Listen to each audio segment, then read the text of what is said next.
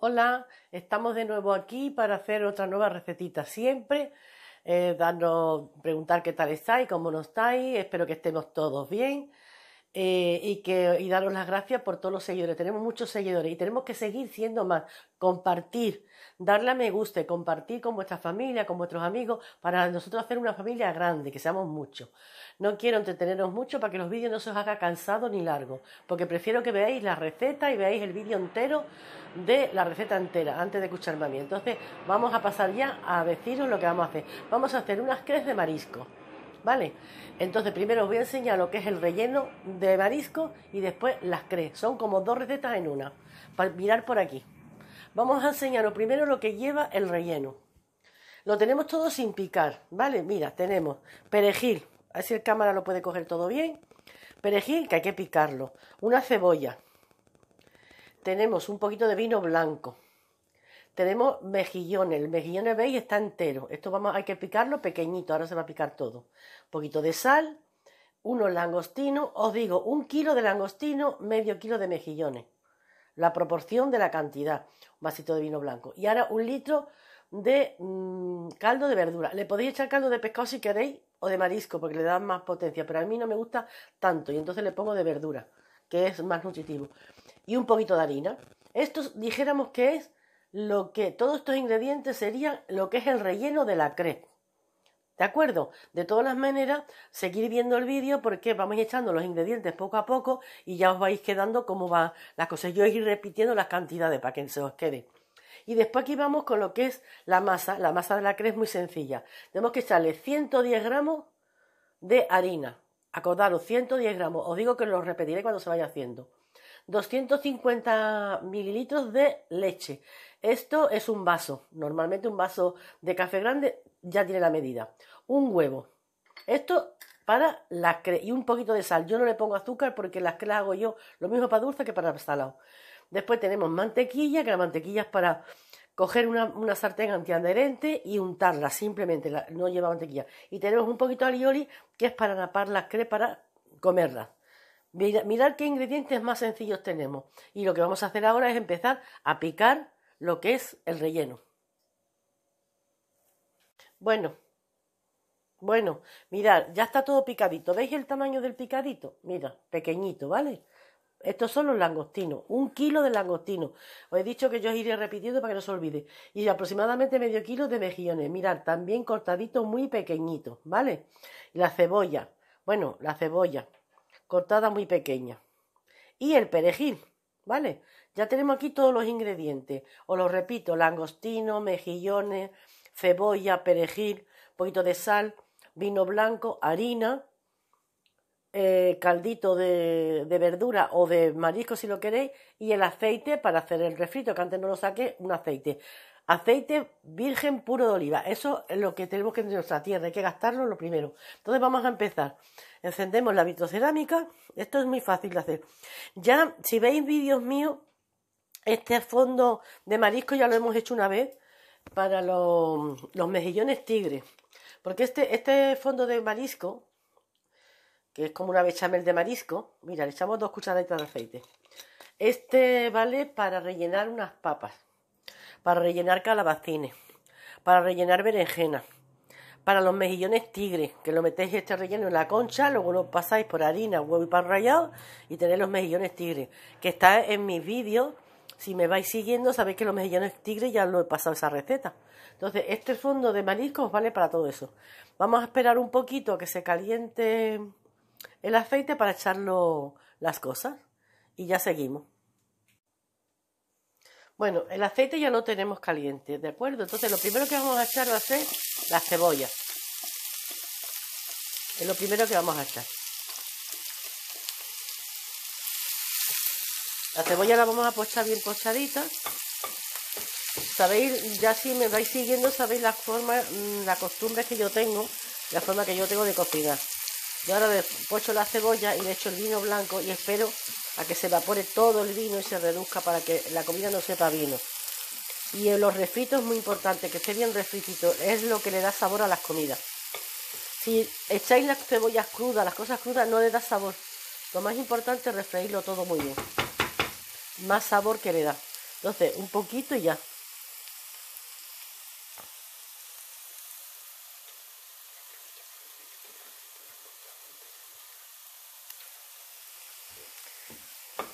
Yo sé que yo tengo esa costumbre porque de toda la vida y sé que hay muchos cocineros de renombre que han copiado el tema de echar el vino antes, pues se lo echan con el agua.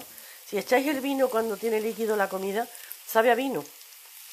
Y, no, y no sabe bien, sabe mucho a vino. El vino tiene que evaporarse el alcohol y reducir. El vino tiene que reducir. Mira, la cebolla ya está, lo veis, casi transparente. Este es el momento, quiere decir que está, y además huele a cebollita, medio pochadita. Este es el momento de echarle el vasito de vino. Vasito pequeño, ¿lo veis ahí? Hay un vasito pequeño. Y ahora vamos a esperar a que todo este vino se reduzca, se quede casi en nada para echar lo que es el mejillón y los langostinos. Si os dais cuenta, es muy fácil de hacer, muy fácil y muy rápido. Hombre, como económico no es muy económico porque los langostinos son un poquito caros, pero bueno, siempre quedas un capricho de uno de vez en cuando.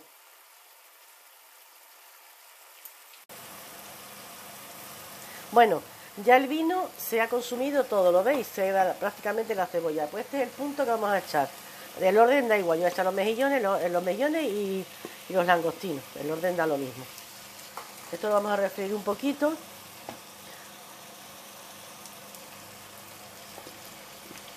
Es muy sencillo de hacer. De todas maneras la cocina no es difícil, simplemente hay que tener un poquito de querer guisar para tu familia y es muy gratificante cuando tú haces de comer y les gusta y comen bien, es importante comer bien. Hay que comer, hay que comer de todo y de nada, mucho de todo y poco de nada.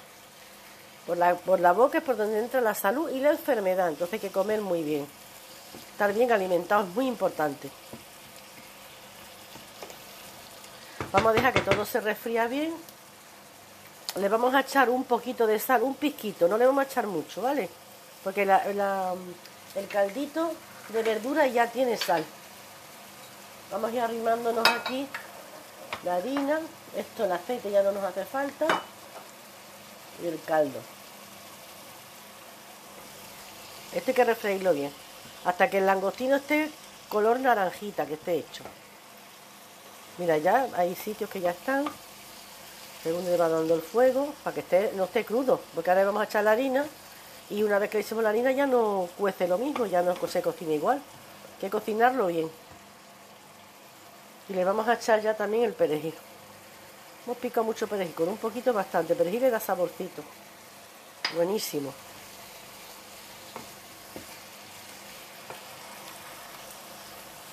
Terminar de ver todos mis vídeos hasta el final, porque yo lo repito, las cositas. Kilito de langostino, medio kilo de mejillones vasito de vino, todo bien refritito. Mirad, ¿veis cómo ya está el langostino color naranjita, lo que es que ya está guisado, ya está cocinado? Pues ahora vamos a echarle la harina. La harina son 110 gramos.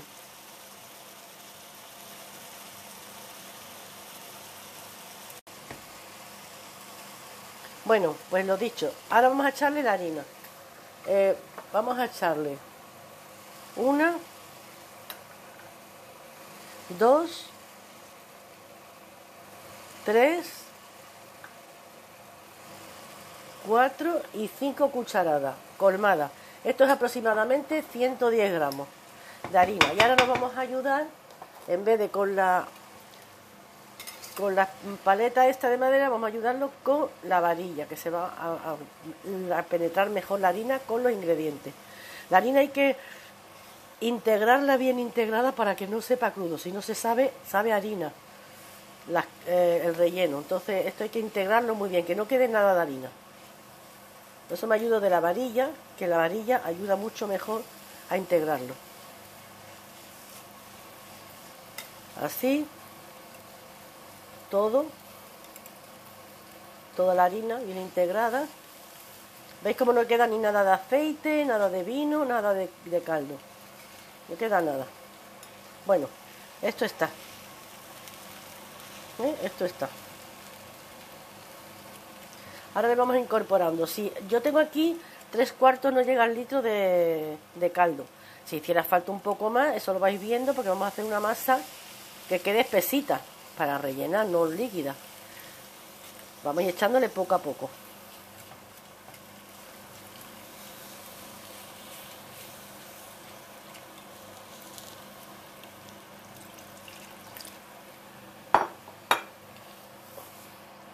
moviéndolo todo muy bien. ¿Veis cómo va quedando espesa? Pero está demasiado espesa, hay que echarle más. Si yo necesito echarle un poco más, se le echa un poco más. No le echéis agua, el agua es insípida. El agua no sabe nada.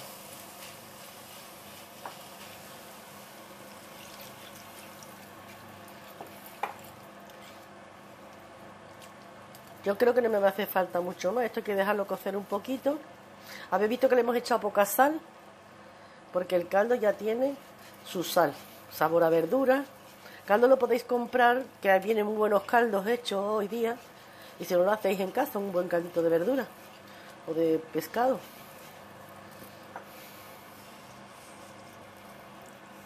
Bueno, yo creo que no le voy a echar más, ¿eh? Los tres cuartos más o menos. Ahora vamos a dejar que espese. Y esto hay que dejarlo, hemos empezado por el relleno, porque esto hay que dejarlo a temperar para rellenarlo. Y en lo que se atempera, pues hacemos las crees. Yo os dije que hoy iba a ser dos recetas en una.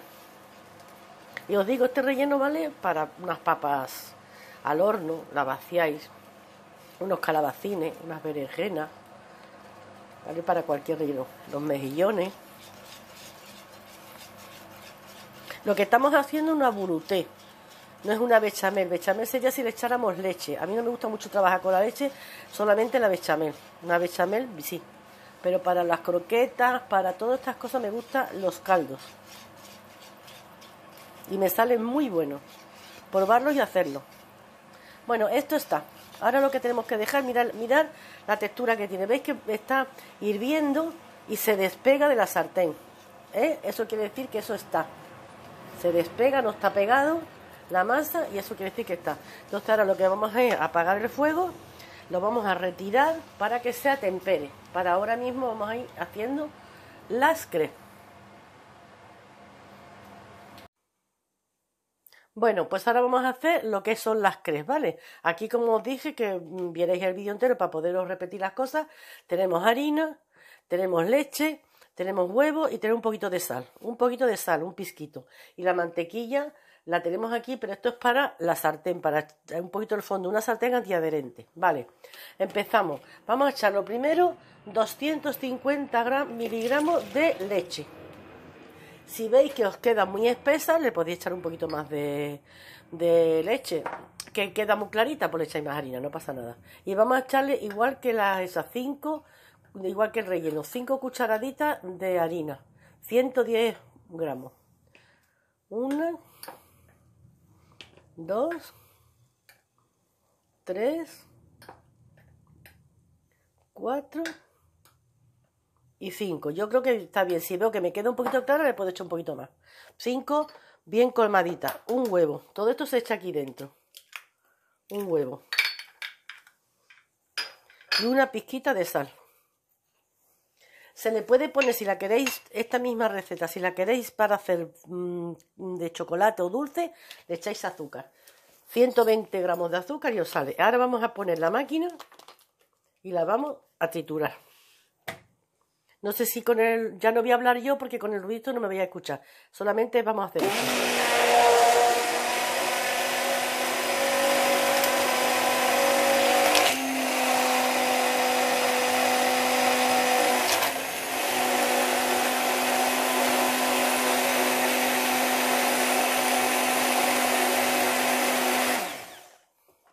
Bueno, pues mm, está un poquito clara, ¿la veis? tiene que estar un poquito más espesa. Le vamos a echar otra cucharadita de harina.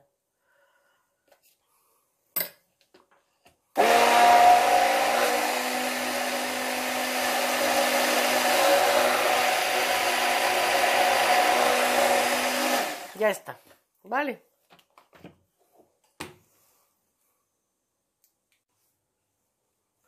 Bueno, pues ya tenemos la sartén caliente y aquí tengo la mantequilla. La mantequilla podéis comprar la que queráis, ¿vale? Es solamente para engrasar lo que es el fondo de la sartén. Eh, procurar tener siempre una sartén que sea antiadherente. Lo que le pasamos con una servilleta de papel de cocina, le pasamos en el fondo. Y ahora echamos lo que es en el medio vamos echando y después le vamos dando vueltas para que ocupe lo que es todo el fondo de la sartén. A ver, así.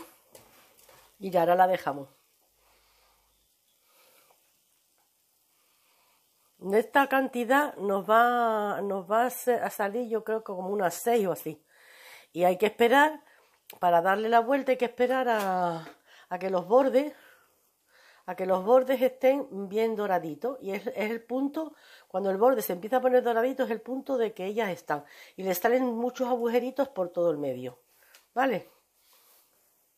Son muy fáciles de hacer, un poquito entretenido, pero si os, ayudáis de los niños, los niños ayudan a hacer las masas, en el fuego os ponéis vosotros, pero a los niños les gusta mucho hacer las masas, yo mis niños cuando eran pequeños me ayudaban mucho. Te puedes ayudar de una espátula si quieres. Yo normalmente las cojo así con la, con la mano, que es como normalmente se coge. Estas ya están, ¿veis? Los filitos los tienen doraditos, doraditos. Entonces las cogemos, mirad qué pinta. Mirad qué pinta tiene. Mirad qué doradito. Esta es la parte más bonita.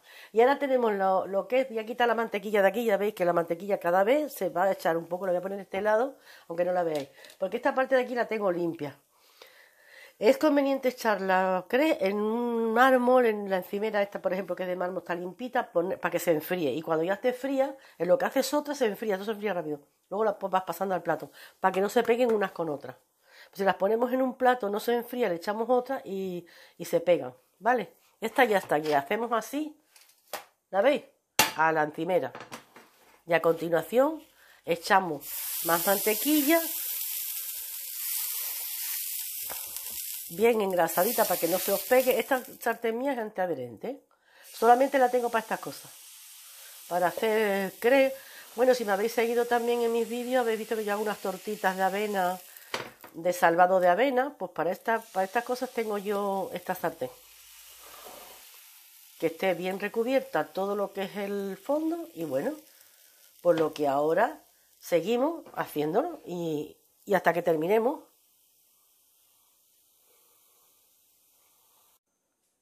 Bueno, pues ya están todas hechas, ¿ves? Yo la pongo aquí encima para que se enfríe. Esta ya está fría. Entonces se enfrían rápido. Entonces ya las ponemos, mira qué bonitas están.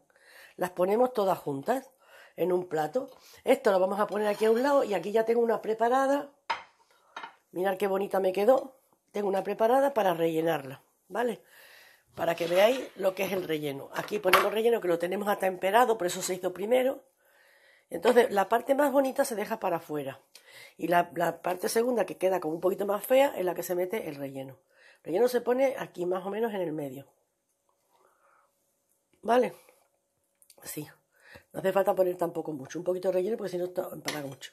Entonces la envolvemos una parte y otra. Ahí esta es la postura de lo que es una ración para una persona. Y ahora aquí le vamos a echar un poquito de alioli. La alioli a las que le viene muy bien. La napamos un poquito por encima. Ponemos un poquito. Luego al comenzar, si le gusta un poco más, pues se pone siempre una salserita con, con alioli por encima, con, con alioli para que se eche más si quiere. Pero nada más que le ponemos así un poquito lo que es la parte de arriba.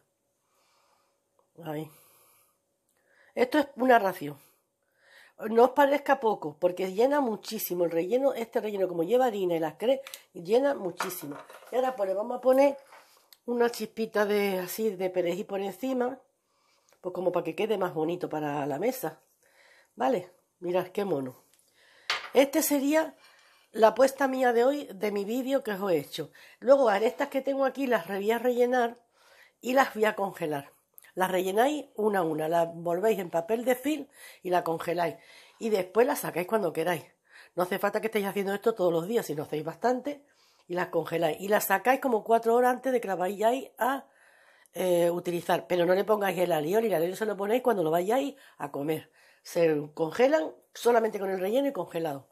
Y bueno, hasta aquí mi vídeo de hoy. Espero que os haya servido. Bueno, pues como estaba diciendo, hasta aquí mi vídeo, pero iba a, puntualizar una cosita. Yo no lo voy a gratinar porque lo voy a poner así, pero esto se puede, antes de echarle el poquito perejil por encima, el alioli lo podemos gratinar, le puedes dar con un soplete eh, de calor a la hora de servir. Yo es que ahora no lo voy a servir porque estoy haciendo. Pero a la hora de servir se le da con un soplete y se pone todo gratinadito. O lo metéis en el microondas a gratinar.